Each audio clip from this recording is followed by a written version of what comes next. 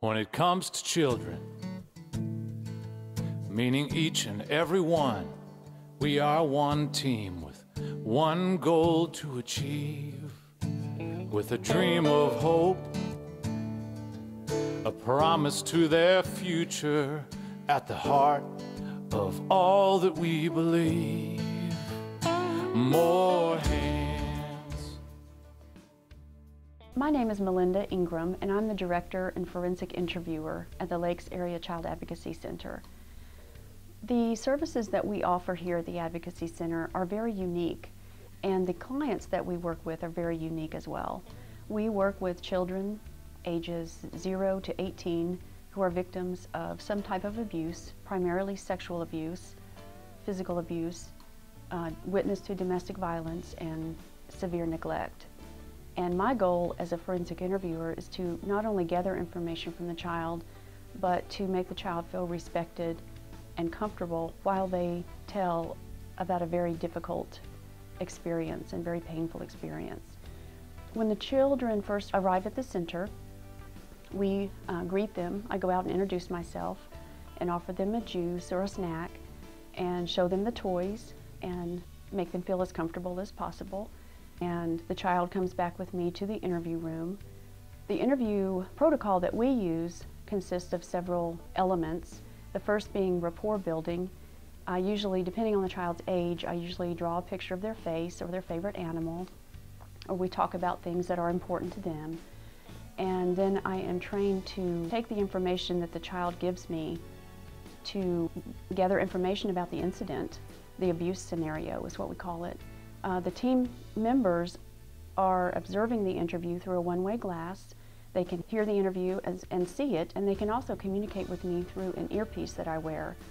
That way, if, for instance, law enforcement has a question about jurisdiction or what happened to the clothing, I can ask that question and make sure it's included in my interview and my information gathering and not interrupt my interaction with the child. We uh, try to make the interviews as thorough and child-friendly and neutral as possible. Um, the interviews usually last between 30 and 40 minutes, depending on the child's age. And um, at the close of the interview, I thank the child for visiting with me. And most of the time, the children who come to the center do need a physical exam. They accompany me to the exam room where our nurse examiner does a head-to-toe physical exam, which um, is unique also because our nurse examiner is trained to recognize signs of possible sexual abuse or physical abuse. Part of the physical exam, the very first thing is making the child feel that they are in control and have power. By doing this, we ask the child to select a gown that we would like to use to have them undress in private but this starts in, they are empowered to which gown they choose. From here, we step out of the room, allow them to undress, we knock, ask permission to come in, and in doing the simple physical exam of first perhaps using an animal or a dog to explain what we're doing and have the child participate in holding the instruments and helping us do the uh, exam on the dog, and then they're very cooperative in letting me do the exam on them. It's important to realize that power comes in small ways. Asking a child which ear they want me to look at first is very important. They get to choose. I can look at your nose or look at your mouth. Which one would you choose?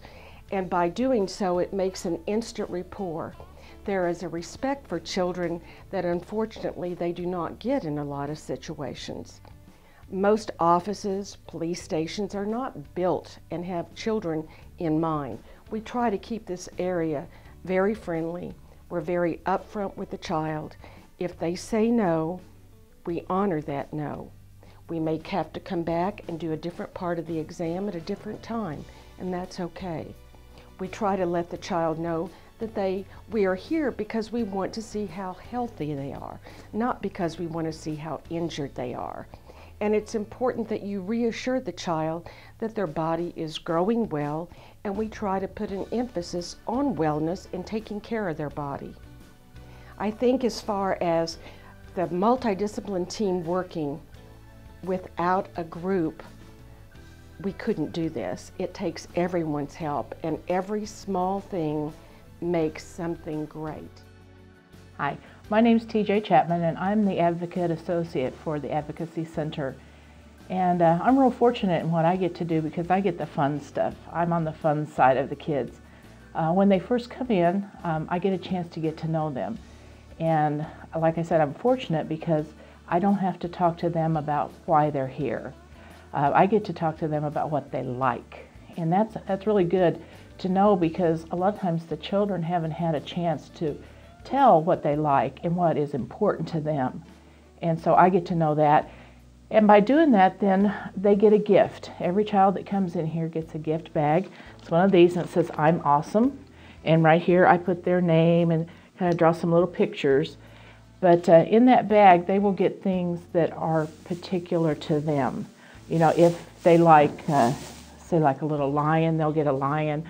I have some dogs and cats, whatever animal they like, they're going to get that kind of stuffed animal. And also, the kids all get one of these pillows, and these are made by a very special lady named Lorraine, and she donates these to us. And every child gets one that gets a bag. And if it's in the wintertime, kind of cold, we got blankets. We'll give them a blanket, and those are all uh, different sizes and special too. Um, I'm real big into arts, and I think every child should be in art.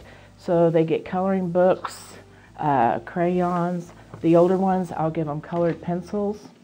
Uh, a lot of the older kids, I like to give them notebooks. Teenage girls will get a journal because I think it's real important for them to have somewhere to go to write down what they think. And uh, sometimes it's easier to write it than it is to say it. Uh, teenage girls they're kind of hard to buy for, so we have some little bracelets and necklaces that we have here for them, and they can choose what they want. But each child gets an individualized bag. I also will give them uh, health care needs, uh, toothbrushes, toothpaste.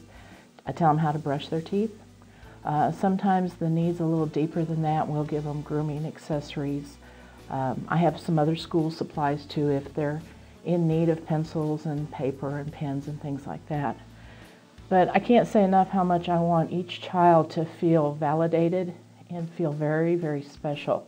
And we want them to know that they are awesome children. So that's why these bags are created one of a kind for each child that comes here so that when they leave, they know they're one of a kind and very special.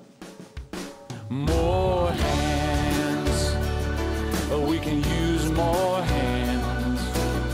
So many needs open arms, open hearts, open minds, open doors. And if we open up ourselves,